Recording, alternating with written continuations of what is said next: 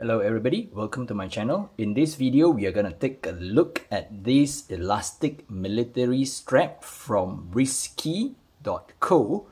Wrisky.co, it's a new company. They are based in Singapore and they were kind enough to send in this strap for review. So, a full disclosure here, I get to keep the strap after the review. Alright, so let's move on to the review then. The strap is an elastic strap. It's I think currently this kind of straps they are quite popular. I think it was popularized by the Erika's MN strap, the Marine Nationals kind of strap. So it's sort of like you know, some people call it the paratrooper strap, but it's made of an elastic material, so it's stretchable.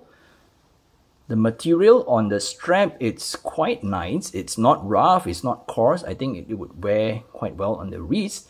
And more importantly is that this piece, this buckle here, it is quite taut. It doesn't, it doesn't slide out very easily. So I guess it wouldn't like, you know, get loosened on its own when it's on the wrist as some of those elastic straps out there and this is how the strap look on a watch. Okay. So yep this is how it looks. I'm gonna try to put this one on this piece here. So uh, from there maybe you'll know how to actually put on the strap on a watch. So we start off with this and what we need to do is basically make sure that the hook here is on the 12th position. So what we need to do is to Yep, I'm gonna do this with a quick release spring bar so it's easier for, for me to do it on camera. So please bear with me as I try to snuggle the spring bar in. Right, so basically that's it. This is how the strap attached to the watch. Alright, so I'm gonna do a wrist shot with one of these watches. Alright, this is how the strap wears on my wrist. As can be seen, even on my small 6-inch wrist, the strap is still quite wearable. I think it still very nicely or snugly fit my small wrist. Unlike some comments I get from my previous review of certain straps that they complain that, you know, it's not because of the strap, but it's that my wrist is too small, but I don't really have any problem here. See, if I shake around my wrist, it wouldn't get loose on its own. So I, I think that it's important that to have a good buckle on this kind of strap.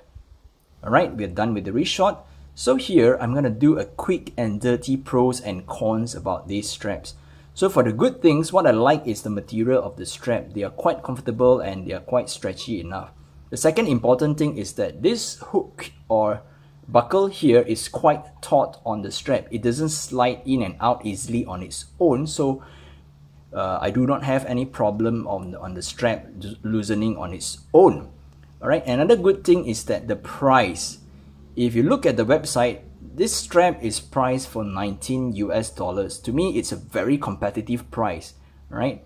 And another good thing is that this strap is actually very wearable on my small wrist and I guess it should be able to fit wrist sizes from 5 and 3 quarter inch all the way to seven and a half inch, right? So what are the negatives of this strap? One thing that I could point out is that the buckle here or the, or the hook here is unsigned. I do really love the logo of the Wrisky.co. I believe it's a husky dog if I'm not mistaken. And I do really like to have the doggy on the buckle.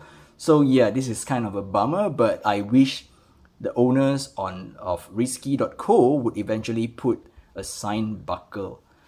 Yep, I think that's it for this uh, video. So if you're new to my channel, please don't forget to subscribe to my channel. It does help me a lot and you can also follow me on my Instagram at gfw underscore watch. And one last thing, please use my code GFW15 for 15% off any purchase on wrisky.co. Alright, till then, I'll see you guys in the next video. Bye-bye.